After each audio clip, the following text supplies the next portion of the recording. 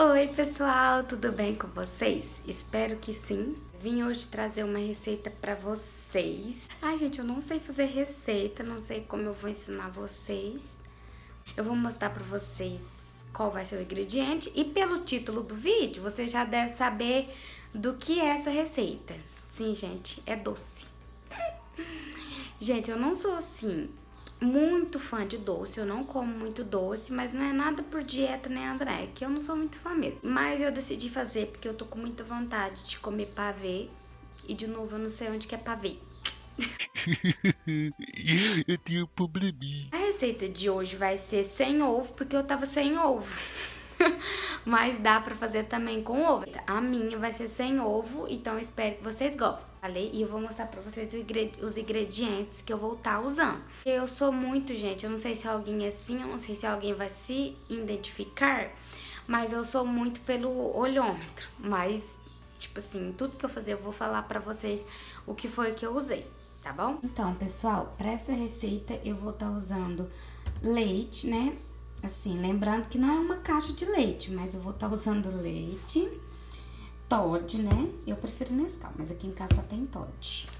Amido de milho, a maisena, sei lá como vocês falam. É, duas caixinhas de, de creme de leite e dois leite condensado.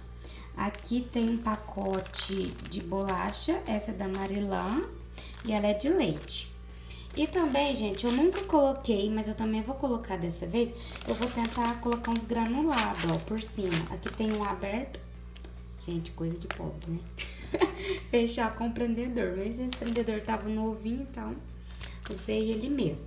Então, eu vou colocar granulado por cima, gente. Eu nunca fiz com granulado por cima, mas eu vou tentar fazer com granulado. Vou começar pelo creme branco, gente.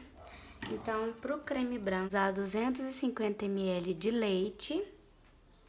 E vou colocar na panela sem ligar o fogo, tá bom, pessoal? Não repare meu fogão sujo, porque eu não limpei. Ainda sem ligar o fogo, eu vou colocar uma colher e meia do amido de milho, da maisena.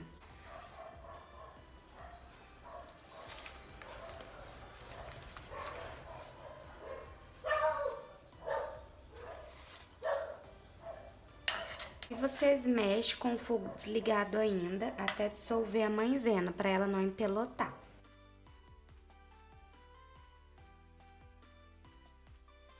Gente, agora eu vou colocar meia caixinha de, de, creme de leite. Esse creme de leite que ele é o grande, né?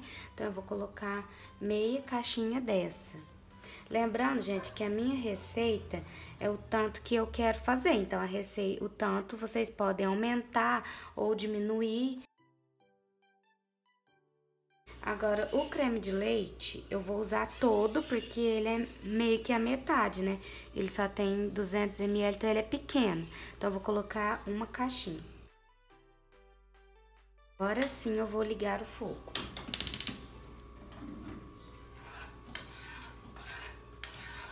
Vou ligar no fogo baixo, tá, pessoal? E vou ir mexendo. Se vocês quiserem pegar uma colher maior, pode. Deixa pra não empelotar. E se vocês quiserem colocar é, essência de baunilha, fica a critério de vocês. Eu até tinha, mas a minha tinha vencido, então eu joguei fora. Gente, agora já tá borbulhando, já tá no ponto, ó. Ó, agora já borbulhou, já engrossou. E é esse ponto que tem que ser. Agora eu vou desligar o fogo. É esse o ponto. Aí agora vocês reservem ele, né? Deixa aqui atrás. Gente, pra essa receita de chocolate, eu vou usar um pouquinho de margarina. Essa aqui, normal mesmo, qualquer uma que vocês tiver em casa, é, serve. Aí eu vou colocar só um pouquinho. Eu gosto, gente. Aí fica preferente de vocês. Eu gosto pra não agarrar, né? Vou colocar também o Todd. Vou colocar de 3 a 4 colheres, gente. Vou colocar 3 e meia. Vou colocar uma colher e meia de maisena. Uma e meia, gente, porque a outra não tinha ido muito cheia. Agora é a caixinha de creme de leite, uma inteira, né? Agora, gente, eu vou colocar a metade do creme de leite que eu tinha colocado na outra. Ignorem o barulho da geladeira, gente. E agora eu vou colocar o mesmo tanto de leite, 250 ml, viu, gente? Mexidinha, sem ligar o fogo. Pessoal, agora eu vou ligar o fogo, vou colocar em fogo médio, depois eu vou pôr no fogo baixo, para não queimar.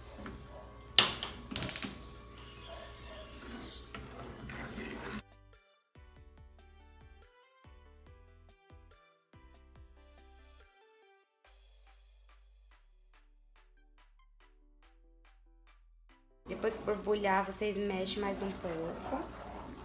Ó, essa é a consistência, tá bem grossa. Não dá pra vocês verem aí, deixa ali descansando também. E vamos lá preparar as bolachas, né, gente? Vou abrir a bolacha, gente, e vou molhar elas aqui, ó. Que leite nessa vasilhinha, vocês separam uma, né? Pra vocês umedecer as bolachas e começar a montar aqui. Não deixe muito tempo aqui, porque senão ela vai ficar muito mole e vai quebrar. Começar a molhar as bolachas, né? Vou começar a passar elas aqui, ó. Vocês podem até colocar duas ou mais. Deixe ela aqui um tempinho, cuidado para não ficar mole, né? Como eu já falei. E agora coloca aqui. Aí vocês vão colocando aí do jeito que der na forma de vocês.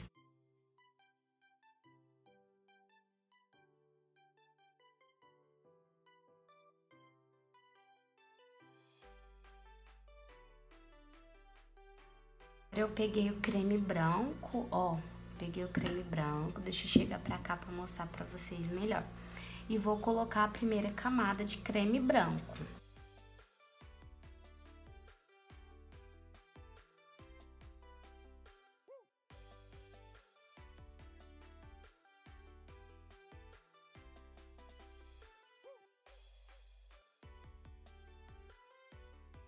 Agora eu venho com essa delícia de chocolate e vou colocar uma camada também.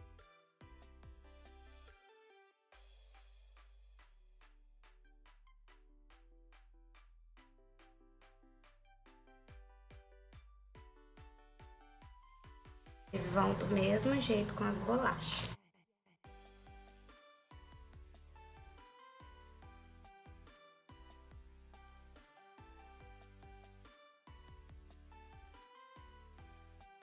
Agora eu vou vir com o branco de novo, gente.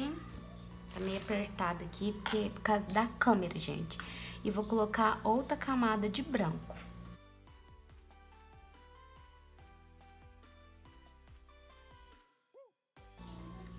Então, gente, a última camada do branco tá pronta. Agora eu vou vir com as bolachas. Vou vir com as bolachas de novo pra cobrir ele e depois vir com o preto.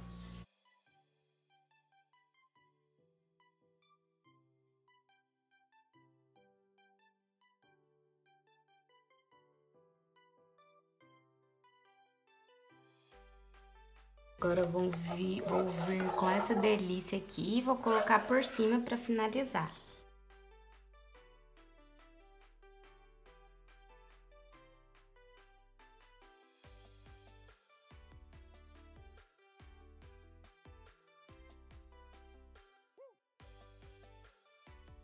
Pessoal, agora eu vou vir com granulado e vou jogar por cima. Lembrando que o granulado também é opcional.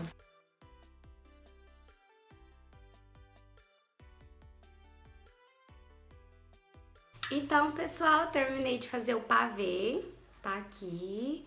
Ai, gente, tô doida pra comer esse pavê. É tipo aqueles testes de autocontrole. Eu vou ter que colocar na geladeira e deixar de duas a três horas para ele poder gelar pra gente comer. Mas tá pronto e ele ficou assim, ó.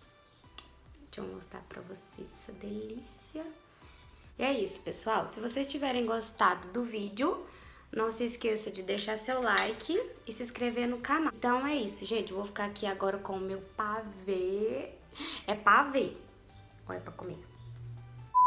Não sei.